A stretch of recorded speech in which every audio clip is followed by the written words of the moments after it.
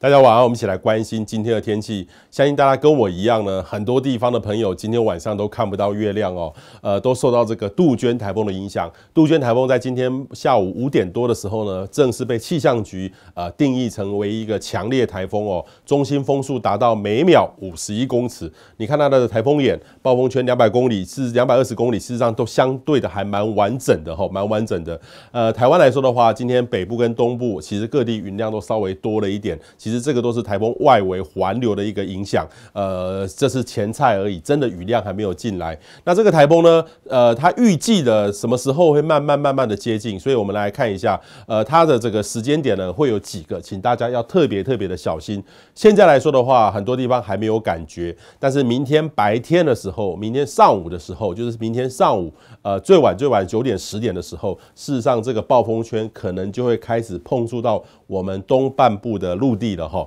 那它的登陆的点位呢在哪里呢？依如果依照气象局这个呃路径来看的话，可能是在花莲的秀林，或是在宜兰，或是往南一点点到花莲市之间那，哈，这个都有可能都有变动的空间的。那以依照这样的一个情况呢，当然对这些区域的影响，就是这个十级风暴风半影响的区域，它的北侧影响的是最大的，请这些区域的朋友呢一定要特别留意，因为风呢，台风是一个逆时针，所以这边来说的话会比较大，相对另外一边呢就相对的比较少。所以就看这个台风在哪里登陆，这些这个点是很重要的。那其他地方呢也会受到这个环流影响，云系不断的移进来。所以明天来说的话，只要台风暴风圈一碰触陆地，其实各地的风雨都会明显开始逐渐的加大。那这个加大之后呢，最重要的下一个时间点就是台风什么时候登陆？呃，依照气象局这条路径来看的话，应该是明天的深夜哈，十点、十一点、十二点，其实都有可能哈。这个就看明天的监测的结果。如果这个登陆的话，当然这个中心的点位这个附近。登陆点的附近的风会很大，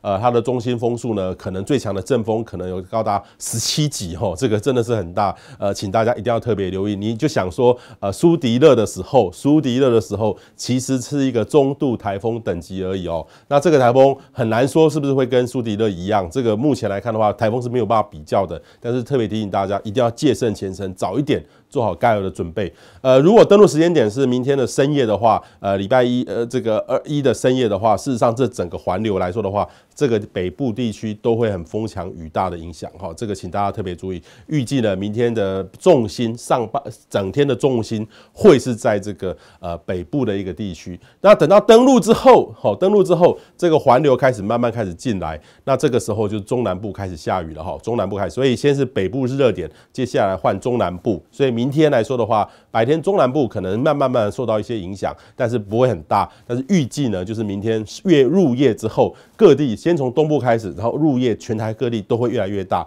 那另外一个呢，中南部什么时候会更大？就是在这个台风登陆之后。到这个中心慢慢慢慢在台湾走。如果明天这个礼拜二早上的时候脱离的时候，早上到底几点？目前有待这个观察了哈。可能说如果按照气象局这条路径的话，可能是明天早上八点九点都有可能，或是更早一点点。那如果说这个台风慢慢在本岛在在绕走的时候，在出海的时候，事实上整个环流来看的话，就是这样的一个走向。那这样的走向呢，事实上对于我们这个环流的这个西半部，西半部就要特别注意的。西半部这个区域来说的话，呃，当然这个风就会非常非常大，好，非常非常大。然后另外呢，云雨带有就进来，所以中南部也会有一些雨势。所以你想说这样的一个台风，如果它的结构呃没有被破坏的很好的话，其实这是相当令人觉得压力很大的一个台风，请大家特别注意它的它现在的它的威力比苏迪勒还要强，请大家要特别特别的注意，要戒慎前程哈。呃，当这个台风这样走的时候，事实上也要特别注意两个时间点，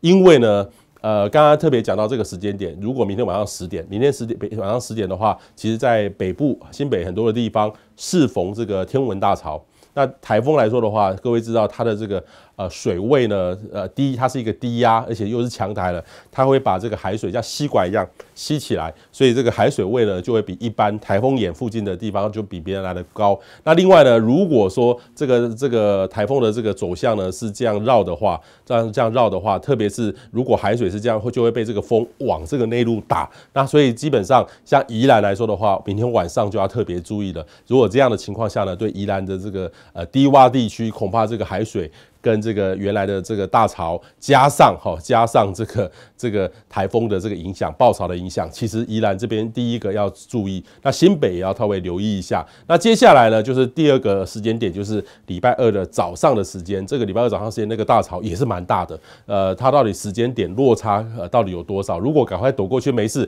如果刚好配合在一起，在这个地方，其实这边的压力哈，还有西半部压力都很大。所以，请这次来说的话，不是一般的台风，还包含天文的大潮的现象，请大家真的要提高警觉哈，提高警觉，特别是低洼地区，原来会淹水的地方，你想嘛，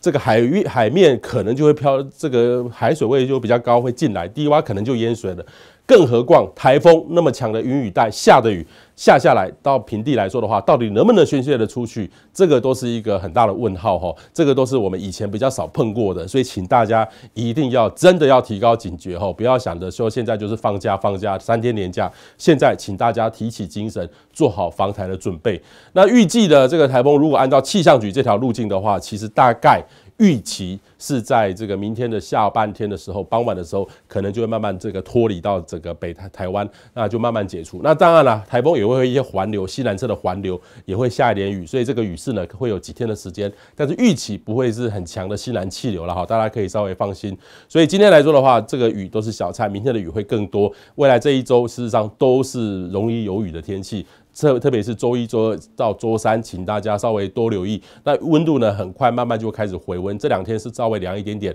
南部也会有雨势，请大家留意一下啊。特别是说这个呃登革热，前一阵子已经有稍微缓和一点点，但是事实上又遇到一个台风，台风过后都是比较麻烦的，请大家多留意。我们最后给大家建议，这个强台杜鹃，请大家要戒慎前程的，务必专注防台后，请大家呃不要觉得还在过节，真的这是一个强烈台风，强烈台风。那周一上午暴风圈就会逐步接近，周一晚上到周二风清晨风雨最强，沿海河边一定要留意水位的高低，请大家留意，如果你真的很高的话，附近家里面很高的话，你一定真的要提高警觉。以上是这节的台风。